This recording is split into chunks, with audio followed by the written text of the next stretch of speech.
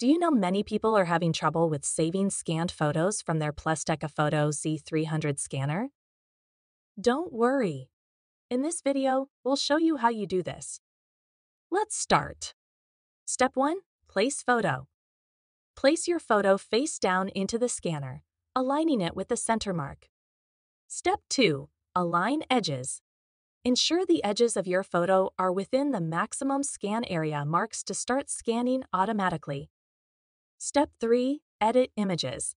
Once the scan is complete, view and edit your images in the Plustek ePhoto software. Step 4. Select images. Select the images you wish to save by clicking on them. Step 5. Save images. Click the Save button. Your images will be saved in the folder set in Preferences. By following these steps, you should now be able to save your scanned photos to your computer easily. Still need help? Visit our website for the complete manual. There you will also find questions and answers from other Plustek users.